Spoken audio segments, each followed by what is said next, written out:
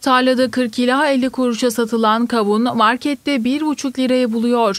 Üretici kavun fiyatlarının gelecek günlerde artacağını umuyor.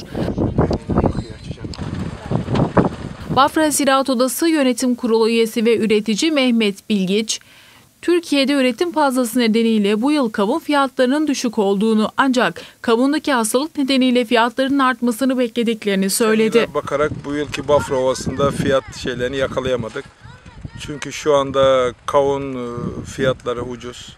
Satışı yok. Bayrama da denk geldi. Ama dışarıda kavunun çok olduğundan kavunların da bu yıl Bafra'da pazar çok düşük. 50 kuruşlar civarında. Geçen yıl bu durumlarda kavunlar 1, 1 TL'ye falan satılıyordu. Ya Biz artık ovada yavaş yavaş sebzeyi kaybetmeye başladık. Kaybetmemizin de sebebi çok büyük alanların çeltik olması. Üreticilerin sebzeden artık kaçış olması. Çünkü maliyetleri çok ağır olduğundan çeltiğin de buhar olarak, çiğ olarak, çisi olarak bu kavun karpuzun üstüne düştüğünde yakıyor. Çok aşırı ilaç kullanımı oluyor ve randımansızlık oluyor. Yani ovada artık sebzeyi kaybetmeye başladık. Hazır fidye